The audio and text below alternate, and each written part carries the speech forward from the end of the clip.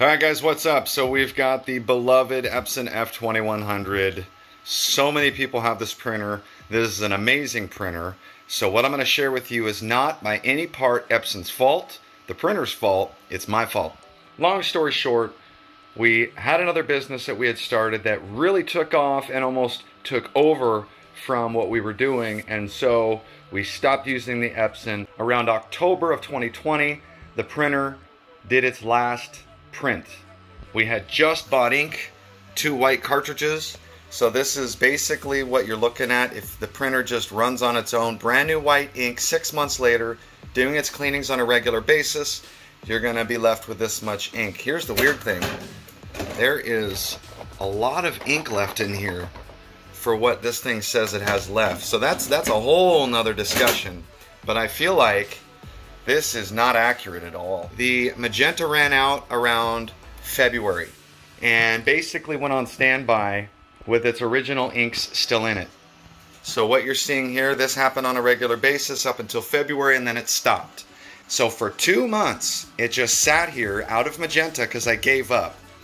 Um, I Somebody on the DTG forum offered me one of their inks. They sent me their magenta just so that I could get this uh, cleaned up try something that I've been wanting to try. Um, and then we're going to clear the lines. Now, I just want to say there's a setting in here. I don't know if you know, but if you want to get to the head, in order to do this process, you have to actually move the platen out of the way. So here's how you do it. We're going to we're going to get this prepped. We're going to go to uh, cleaning around the head. Okay, cleaning around the head. I hate that this light is just... And then we're going to collect or click yes for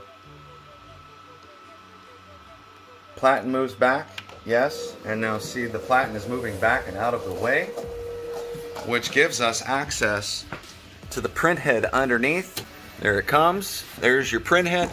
And we're going to clean that right there. That's been sitting for about six months hasn't printed a shirt and it hasn't been cleaned in about two. And anybody knows in this uh, in the Epson if it goes two or three days, that thing clogs up. So I'm thinking it's gonna work. And if it does, this is a great video for anybody to see that this $2,500 printhead, there is one last thing you can do. And the reason I'm confident about this video is I've done this before. Uh, it wasn't as long of a time frame. It was only a couple weeks in the past. Uh, it worked wonderfully. But now I'm stepping it up a notch. And you're to see in this video and I'd like to throw a shout out to uh, DTG Printer Parts. He gave me a, a, general rundown idea of what he has experienced in the past on how to clean these heads. And so what I did is I took that and made a whole process out of it. So without further ado, let's get into it right now and clean this bad boy out. All right, so here's what we're gonna do. We're gonna build basically using these chemicals. We've got distilled water, Windex, and isopropyl alcohol. This is the 50% version, which will work just fine. Um, you can do the math and, and subsidize from there if you've got the 80%, 70%, whatever, but this is 50. So we're going to make a mixture out of the three of these things. We're going to do 75% Windex, 20% distilled water, and 5% alcohol mixed into a tub. All right, and what we're going to want to do, let me move this out of the way is we're going to want to create a platform with these Tupperwares that enables us, right, to essentially create a bowl that goes underneath without touching the print head, like that. And we're to fill this up. We're to fill it up to the line beforehand, lift it up, have a friend insert the, the uh, Tupperware underneath so that we can shimmy it up so that it's basically sitting where the water level can reach the bottom of the print head. And we're going to fill it up with the solution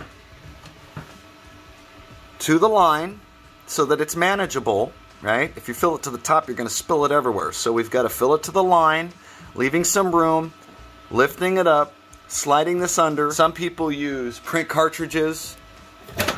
For example, they'll stack their print carts up, right, to create a shim. And from there, we're going to open the top and we're going to very carefully from here, fill the rest up while we have a light. See this light? So that we can see, we're gonna put the light in the back. Way back here. So that we can see through. That way we can see the water line. And we can see through the side of this. We need the clearest one you can get. So I might actually use this one up there. We're going to be looking through the side like a window as we pour the remainder of the liquid from here into the top, right? And it's going to be filling up. It's going to be filling up. And we're going to watch as the water level, the liquid cleaning level, reaches the bottom of that print head up in there, right? As soon as it touches it, we're going to go about one millimeter above the bottom of the print head, just so that there's submersion, but not complete submersion to where it gets into the electrical components of the print head. So it's just going to sit on the surface and clean that print head off. And then it's going to soak. And we're going to soak for about 12 hours. And I'm going to document with this video throughout the process of exactly what it looks like so that you can see and emulate the same thing. And then we're going to come out and we're going to do a print head cleaning. We're going to start with a heavy and then we're going to do a light and then we're going to do a nozzle check and we're going to see what we get. And I'm wondering because if we can save you 2500 bucks, I think it's worth a like and a follow, don't you? If there's any quality shots here, because I have to do this over a 12 hour period, there's going to be some nighttime as well. So uh, forgive me if there's blurriness at night. You know how these cameras are. Without further ado, let's get right into the project. So this is what it'll start to look like after the uh, the ink that's been backed up starts coming out of the print head from the solution mix in the Epson F2100. Uh, so I put a light behind it and I watch and when all four of those, uh, well, I think the one, two, three, four, five strips up there that you see, when all five uh, give off ink, primer, the white's going to come out a lot more than the other colors because it's thicker. Um, but when they all have some residue coming into the uh, Windex solution that I've made. But uh, with, uh, with everything else that I've showed you here, this is the best way and safest way. And if you look, you'll see the sum the the Windex is is barely over the print head. See how it's like a millimeter above the bottom? Um, as those bubbles go away, they'll go away as time goes by, and you'll get a better idea of what you're looking at. But you you don't want to like submerge all the way up to the bottom of the actual print head mechanism. More so, you just want it to cover the base of the print head itself, just like you see here. So I'm going to zoom back out right? And that's what we've got. You just want to make sure that it's stable. It's a stable setup. All right, we're about four hours later and I've just, you just leave the printer like this. Leave it open. It's gonna beep as a reminder that the system is open. That's fine. It's gonna say this. Some time has passed. Don't click OK, just leave it alone, right? Here we are. As you can see, it's starting to get cloudy, right? And there's slowly this solution's going to turn darker as the black ink and the cyan and magenta mixed with the white. It's uh, it's slowly going to get darker, but as of now, here's where it's at. It's harder to see the print head up there, but it's still there. The bubbles are disappearing, so you can now see what is outlined. We'll come back and periodically check it and document. In the meantime, what we're going to do is we're going to gently run the cotton swabs, not scrubbing, just running it along to pull any film off of the bottom of the print head. So we're going to construct a device, uh, cleaning, kind of like a hook, so that it reaches inside so we can dip it inside and underneath the print head and move away any clotted material. Okay, and here is the finished constructed makeshift jimmy rig. So I've taped one Q-tip to the next at a 90 degree angle. And this is going to be used as a lever. As you can see, it's going to dip in and we're going to rub like this just and do a sweeping motion and sweep along the bottom. This is not required, this step, but it does help expedite the cleaning. So what we're going to do, and having a little light handy is really helpful in seeing what you're doing as this begins to cloud up, or, you know, a house light in there. This is going to be dipped down momentarily, and we're going to turn it like this. Do you see? We're going to turn it like this. So I'm going to reposition the camera so you can see. All right, here we go. So using our makeshift, the print head is easiest to access on this side over here, on this side. So we're going to go down. I don't know if you can see it in there. There it is. And we are going to come over here and we're going to do a sweeping motion. And we're sweeping, do you see that? We're sweeping the bottom of the print head gently to clear away the bubbles so that the printer has free access or the head has free access to all the chemicals. And then I'm going to move it to the other side now. And I'm going to do the same thing. See how it's sweeping the bubbles away? That's all you want to do is just sweep all the bubbles away so there are no bubbles along the bottom of the cleaning surface. And as you can see, the chunks of ink, you see it here, here, some there, and on the surface. But we are just cleaning it away. It's actually really easy to do. That is it. And this is the only time you will have to do that. We'll be back. All right, now we're at about 12 hours after the initial um, setup. You've noticed now that you pretty much can't see through the Windex at all. And uh, you'll see here that it's gone from, uh, there's our little light. It's gone from a very uh, Baja Caribbean look to still beautiful, but more of a, uh, you know, sandy beach shorefront blue water look. And uh, we've got, let's see here, let me get the light.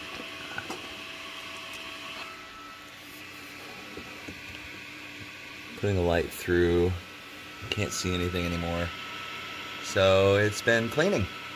So what you're seeing is ink, ink that has cleaned. There's a, a layer that's building on the bottom It's kind of hard to see. I'll do, when the video is over, I'll pour this out so we can see what it is, what's inside.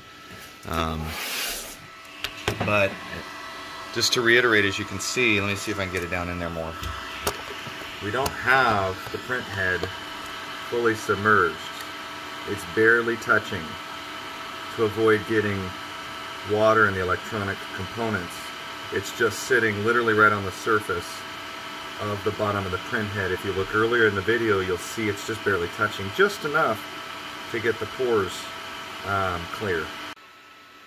All right, here we are at 12 hours, 12 hours later, and now you can no longer see through the mixture, let alone, I'm going to put the light behind it, and you'll see light won't even go through it. And this is how I know it's pretty much where, here's the light, and here's the mixture. It doesn't even change, right? See a little bit over here it does, but all it's doing is lighting up more so than you can't even see the light through it like this, right? So this is telling me that we're where we need to be. So I'm gonna get ready to do the next step of removing the, uh, the setup. All right, here we are. I've taken the, uh, the, the tray away, and I wanted to show you underneath what the head looks like. It's much cleaner now. You can see where the ink is coming through the print heads. If you haven't seen a print head, here's a print head. Right? And as you're looking here, you'll see, if you're remembering back to the beginning of the video, the liquid that I made never went above this top silver line here. It was always that and below. That way it didn't get anything else but above. You can kind of see some residue up there, but it never went any higher than that so that we wouldn't ruin it. Now, this needs a cleaning. We need to gently clean this area before we do a cap cleaning and a uh, print head cleaning. So we're not going to send this in this condition back into the print head uh, rest spot. We're going to remove this gently uh, as Epson suggests for a standard uh, cleaning around the head process, which is how we opened this up in the first place. Okay, so we're coming around with a couple Q-tips, right, in the shape of a ball. And I've dipped them in the solution that it's been sitting in for a while because it's already, right, it's helping us clean it. And gently cleaning around in a front to back motion, not a scrubbing motion, just a sweeping motion. Going around the edges to make sure that there's no residue. We just want to get as much off the print head as we can and you'll see there's little deposits and now we're going to go do the head print head cleaning. All right, so what we're going to do is we're going to do a printhead cleaning. And we're going to start with the uh, all nozzles, right? We're going to do a heavy, and we'll be back when it's done, and then we're going to do a light, and then that should be about it. All right, as we wait for it to start up, uh, we're expecting um, about a 10 minute deal and then a shorter three minute deal for a uh, light cleaning and then we're going to do a, a, print check and we're going to take a look and see what we get here as of right now it's nice and clean and awaiting the uh, print head check all right, now we're in the test mode. We're going to test the, uh, the print head check. And we're going to see how it comes out. Fingers crossed.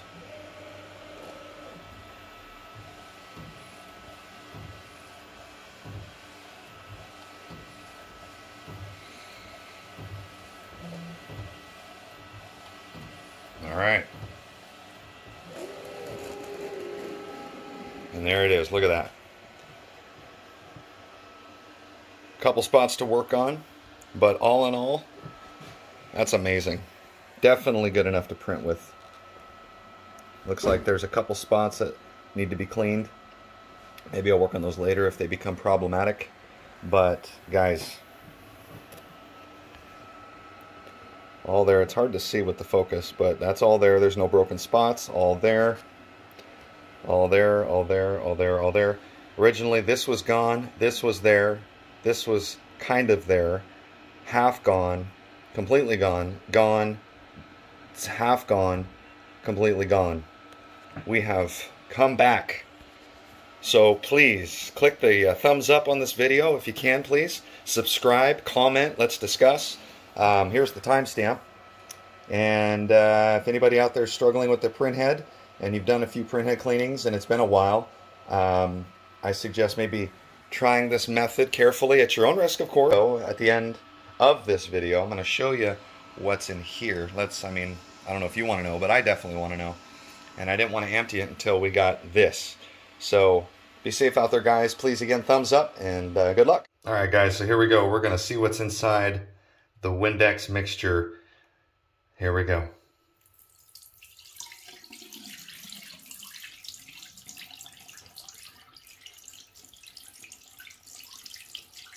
Hmm, interesting. I thought there'd be a lot of ink in there. I'm seeing a little bit of residue. There we go. But I'm not seeing as much as I thought I would see. However, it looks like on the bottom of the plastic there's a film. Here we go. Let's rub our finger through it. There we go. So it looks like there's a little bit. There's some white. So this was either backed up, free and clear, but that's what it looked like in case anybody was wondering.